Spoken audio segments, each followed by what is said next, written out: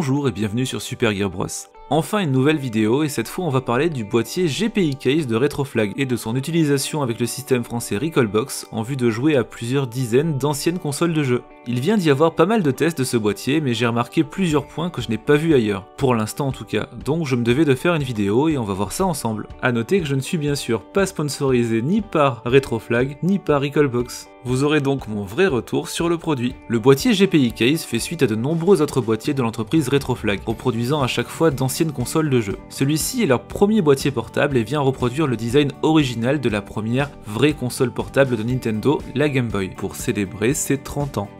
Ces boîtiers sont en principe assez bien faits et donc on va voir si celui-ci ne fait pas exception. Le design est légèrement modifié mais reste fidèle à l'original. 4 boutons ont été ajoutés pour plus de polyvalence, 2 devant et 2 L et R au dos. Côté écran, on retrouve une dalle IPS de 2,8 pouces, technologie qui permet de regarder l'écran sous n'importe quel angle, ou presque, sans que l'image ne soit altérée. Très bon choix donc pour cette utilisation. Le GPI Case est conçu pour accueillir le plus compact des mini-ordinateurs Raspberry, le Raspberry Pi 0, qu'il va falloir acheter séparément et intégrer au boîtier. Nous allons voir comment faire, puis installer le système français Recallbox pour découvrir toutes les possibilités de cette machine. Voici tout ce dont vous aurez besoin si vous désirez acquérir cette console portable. Je vous ai mis les liens euh, des endroits où je me suis procuré tout ça en description de la vidéo il vous faudra d'abord un Raspberry Pi 0 ou 0W. C'est la même chose, mais le 0W apporte le Bluetooth et le Wi-Fi en plus. Et le Wi-Fi, ça va vous être utile pour les mises à jour du système, mais aussi pour modifier le contenu de votre carte SD, euh, par exemple pour ajouter ou enlever des jeux. Il coûte environ 10 euros. Une carte SD correcte, relativement rapide, à vous de voir la capacité. Ici, une SanDisk de 64 Go pour environ 10 euros aussi.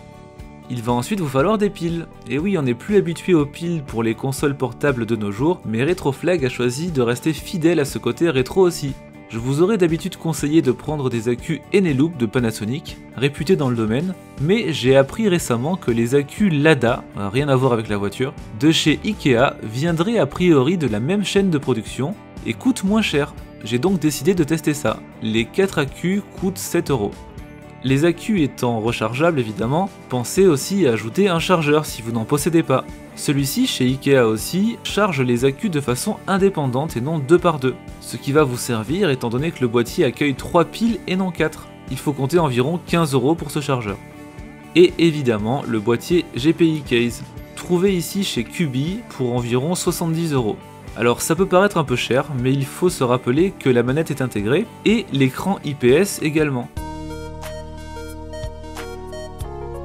On va commencer par la préparation de la carte SD en installant le système Recallbox. Il s'agit donc d'un système d'exploitation français basé sur Linux qui intègre émulation station et de nombreux émulateurs. L'avantage est que celui-ci est livré préconfiguré pour plusieurs systèmes et prend en charge de nombreux périphériques, idéal pour ceux qui n'ont pas envie de trop bidouiller, et qu'il est gratuit. Ils ont même préparé une version optimisée spécialement pour la GPI Case. On les remercie donc pour tout leur travail au fil des années.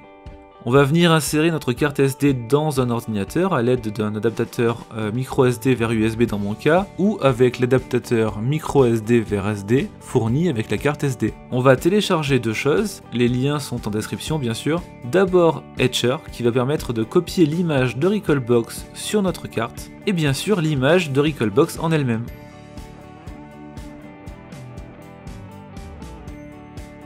Une fois téléchargé, on commence par ouvrir Etcher, on choisit l'image de Recallbox, la destination, et on lance la copie.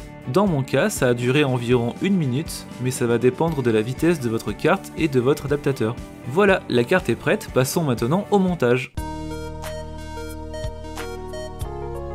Dans le carton, on retrouve le boîtier dans une petite euh, protection façon 3DS, la notice d'installation, un câble d'alimentation externe, ça vous permettra de jouer sans pile en le branchant sur une batterie externe ou sur votre chargeur de téléphone portable. Quelques vis et un tournevis, et c'est tout. Tout le reste est déjà en un seul morceau.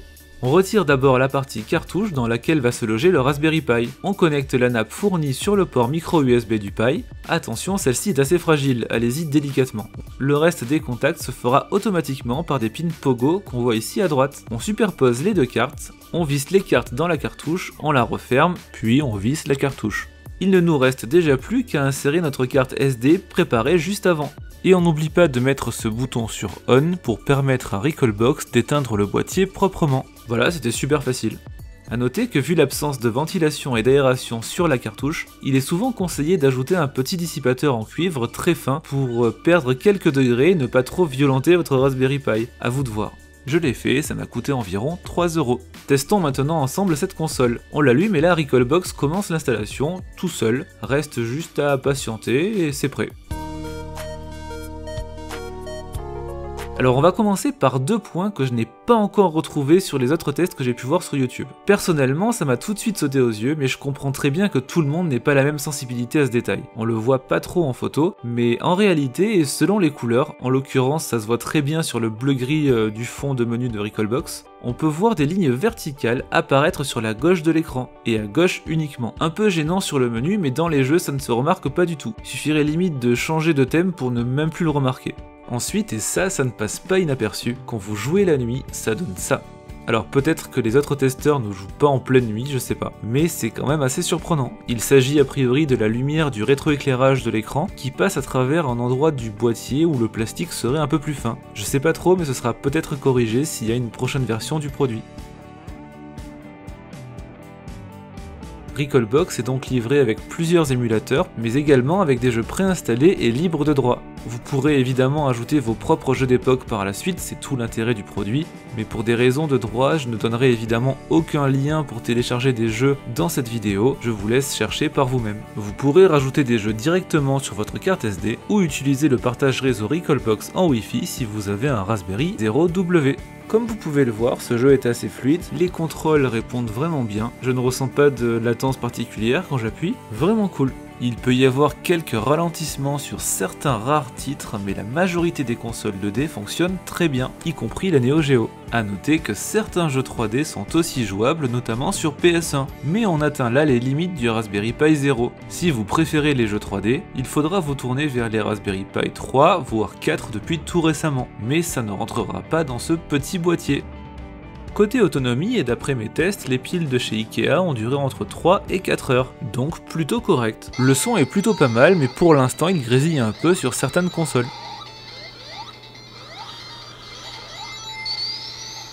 Une info intéressante, Recallbox est aussi compatible avec d'autres plateformes, y compris le PC. Si vous voulez donc tester pour vous faire une idée, n'hésitez pas.